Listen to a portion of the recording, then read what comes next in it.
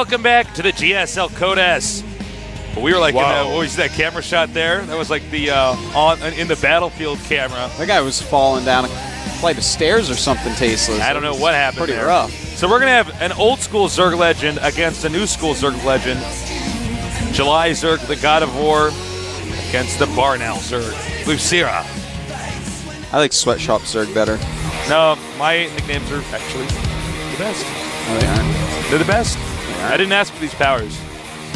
But as they say in Spider-Man, those Hey, did you beg Great for and I gave them to you, and I regretted it every No, I wasn't. I was bitten by a radioactive nerd, and that's how I got these powers, all right? You're not radioactive. You're a warlock nerd. I'm definitely radioactive. Kidding me? Okay. Uh, the map will be Antigua Shipyard, and it all it is all going to come down to this. One of these guys will just have to wait until next season. The other, his journey will continue as he moves further in the bracket here at the GSL Code S. July Zerg up against Losira. Our mirror matchup, Zerg versus Zerg. Let's let these two legends show us how to do it.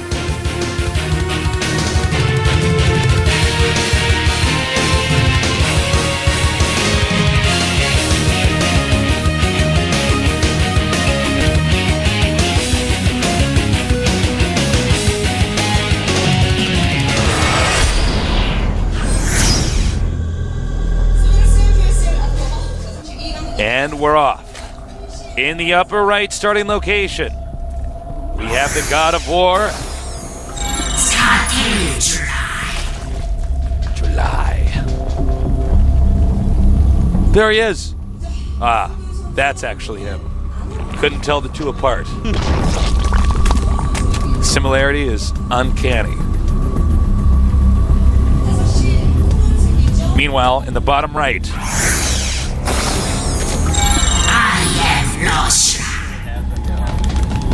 no, he is Losira. There he is. He is Losira. This is like the ending of a Metal Gear Solid game. I'm like, wait, who's who? Wait, what's going on? Like, So, by the way, we do have a 10 pool by July It's a very, Ah. very good build. Pretty standard. he wants It's to do some standards of the damage early on. Um, one thing I do want to point out, Tasteless, is you know how you open up with "and we're off." Yeah, You know what's really weird like a is you can say something. either "and we're off" or "and we're on," and they both work perfectly. Yeah, that isn't that cool? The English language is so interesting. Like that. Yeah, it's really weird. It's say and we're off, like it's a horse race or something. It doesn't even matter. Like it's say and we're on, like the game is now started. well, we do have Zerglings being made. Losira going to scout that very quickly. He's going to see the Zerglings pop. He realizes that the hatchery is actually making a queen. And Losira is going to be able to defend this pretty easily, I do think. You know, he Yeah, I did not so. go hatch first. And that's kind of the prerequisite for not taking too much damage from this rush. it's a long map. Zergling's going to take a while to get down there. Yeah, I don't know if this is the best map to do a 10 pool on. Well, that's why July Zerg does it. because he is there's a higher chance of like a uh, hatchery. Yeah, exactly. July Zerg is he plays the odds, man. He knows that his style will never win every game. It just won't happen. You know, some people play a style that they're trying to win every single game. July Zerg, hell's no. He's a risk taker. He right, is. here we go. Is he going to lose any drones? He plays extreme Zerg. So extreme, he does it with Mountain Dew in his hand. Ah, exactly. And well, yeah, that's just nothing's gonna happen with these lings. Yeah. July, sorry, buddy. This is just zero impact here. Look at the automaton, like whoa, whoa, whoa, whoa.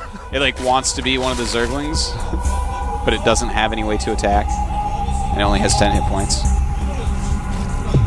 Okay, he is now going to set up his expansion hatchery, and Losira looks like he's in pretty good shape.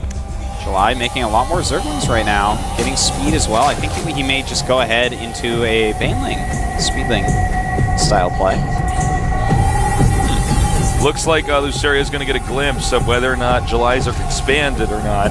And when he sees that, it's going to be pretty clear that July is not invested into a long game. Yeah, July's going Zergling Baneling all in here. So, Losira, will you make a Roach Warren? Or won't you make a Roach Warren? That's the question, Tasteless. Yeah.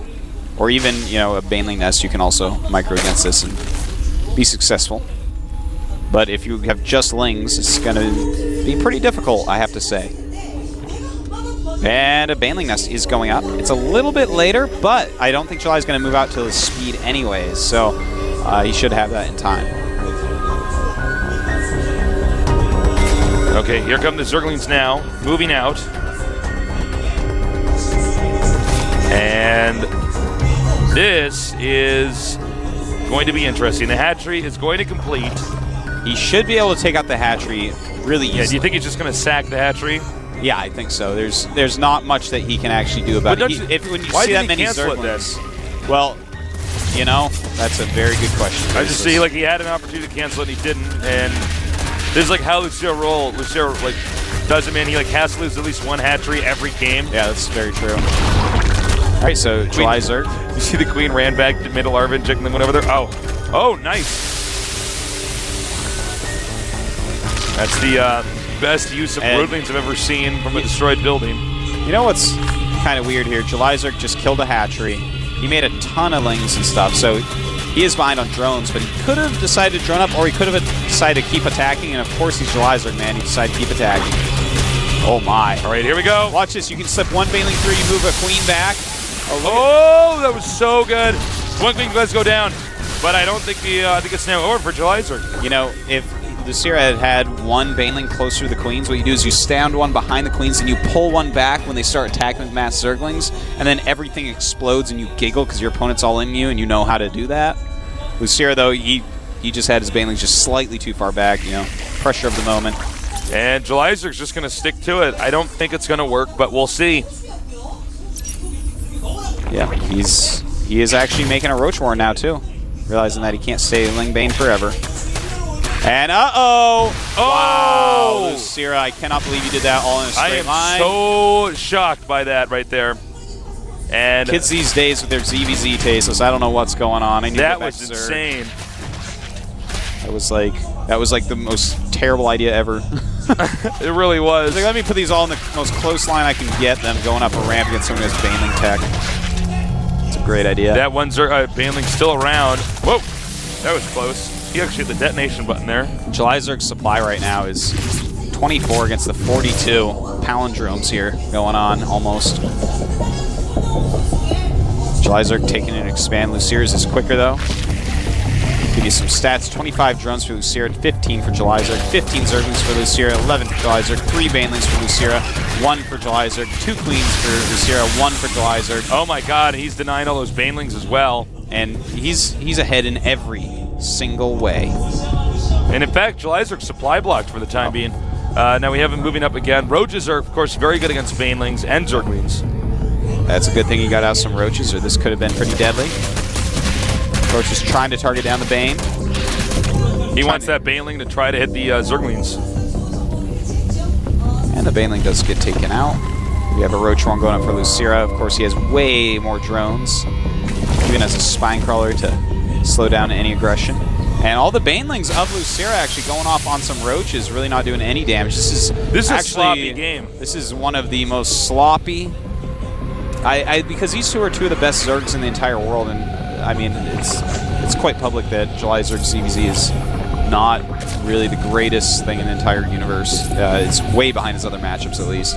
Uh, but this is I'm like astounded at what we're actually watching here. This is Yeah, just no, so I'm, sloppy. I'm in the same boat. I'm kind of uh, a bit shocked here to see that they are both making this many mistakes. this is like And uh, I know that there are other commentators out there who will lie to you guys, but we're not two of them. sorry. this is a uh, this is a very shocking game from these two. yeah, yeah. This is like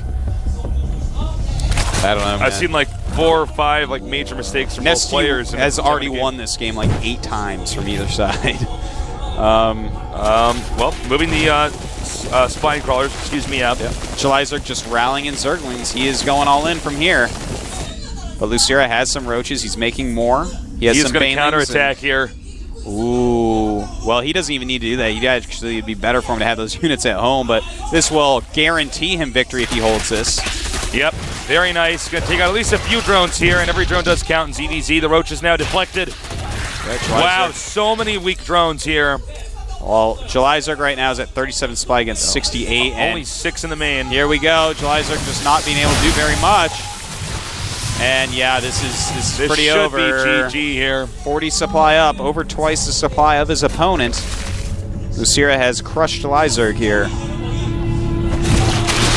Wow. All right, There's Too many roaches. One Baneling is going to be edged in here. GG. Well, uh, you know, I, July Zerg, unfortunately, will uh, not advance to round 16, but Losira will. Losira, very strong Zerg. I'm excited to see him go up. Yeah, he's very scary. He's one of our only non-Terrans up there right now.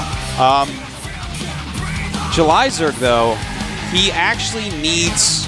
I, oh, now, that's right. He needs to figure out ZVZ, man. Like, he the thing is, the fact that he has said previously, I don't know, I haven't talked to him about it lately, but he said previously that ZVZ is really good.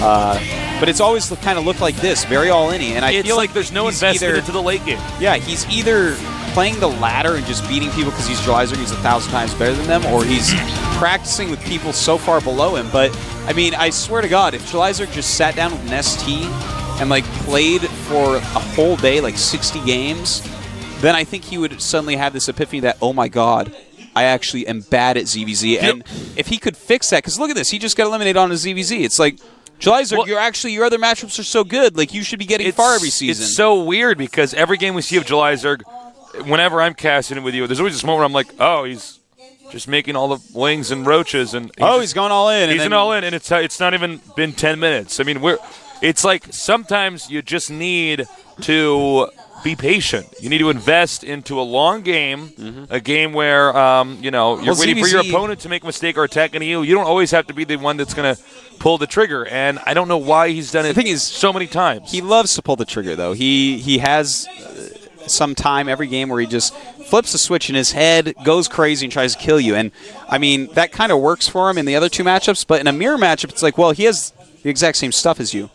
This is a matchup where you want to like chip away at them. It's these small little Yeah, victories yeah. then lead to a big victory in a mirror matchup like Zerg versus Zerg. It's not a moment where he's like and kill. Uh, all right, so here are the results. July Zerg, if you guys only watch Code S, you'll see him again next season. Hongun, if you're a fan of him, well, you better keep your fingers crossed for him in the up and down matches. And frankly, I think he's going to have a tough time there. I Yeah, can see Hongun I- going down to Code A. I completely do see that in his future. Gonzi and Losira advance to the round of 16 as they continue their journey on to attempt to become GSL Code S champions. That is correct, Tasteless. Another Terran into the round of 16. Yep. Terrans, Terrans everywhere. Well, Not we're going to have uh, one more group here today. We are. Has two Terrans in it. Should be pretty interesting. Mm-hmm. Looking forward to casting that for you guys here today. I know a lot of you guys are rooting for Zergs and Protosses to get a little bit further in this tournament, since right now it has been so Terran dominant. Artosis. Yes. Are you ready for the next group? I'm ready, man. I think we got to cut to a commercial I so was that they born can ready. set up. I came out of the, came out of my mom. Doctor said, "Are you ready?" I said, "Yeah, of course," because I already know how to speak. Well, I was born in a laboratory. Yeah, I was actually just hiding in a cave for all eternity until StarCraft was going to be released. Then I came out and started aging like a normal human. wow. Yeah. Well, that's how warlocks do it, man. You're a warlock. What do you want? What do you want me to say? I really want to see you in a cape with like the pointy things and a goatee. well, I wear a cape every day, but normally I'm at home naked with a cape on. Well, that's how warlocks do it, man. Yeah, man. All right, we'll be We're right back here We're not shy. after a five-minute break. So stay tuned for the second half of the Code S here in GSL.